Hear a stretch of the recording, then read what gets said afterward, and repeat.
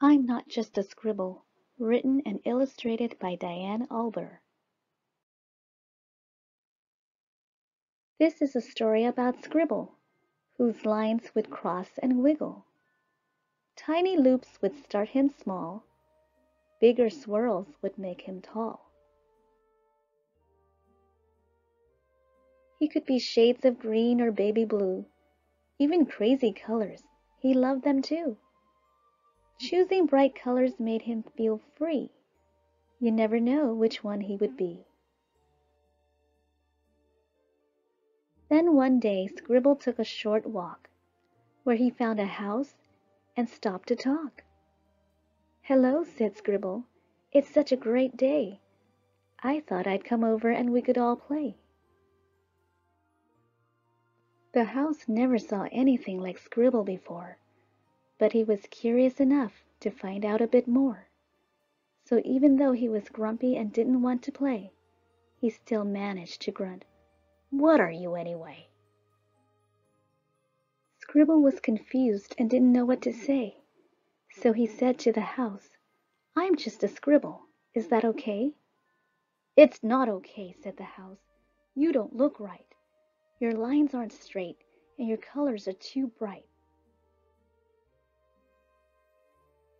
But color is fun, Scribble said. I can show you why. Just give me a chance. Please let me try. No, said the house. You cannot stay. You're nothing like me. Now go away. Hearing those words made Scribble so sad. A tear ran down his face. He felt really bad. But I won't be upset, he proclaimed that day. So he changed his colors and went on his way.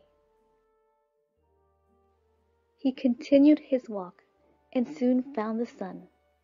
Along with the clouds, they could all have some fun. But the sun saw him coming and told him to stop. Your lines are too messy, and we don't have a mop. Turn around, little scribble, he went on to say Go back to your home. Please just go away. But you're not being nice, Scribble shouted, quite mad. The fact that I'm different doesn't make me so bad. My colors are special and my lines are just fine. If you give me a chance, we could have a great time. Should we ask him to play? They huddled to discuss. It's fun with more friends. It's usually just us.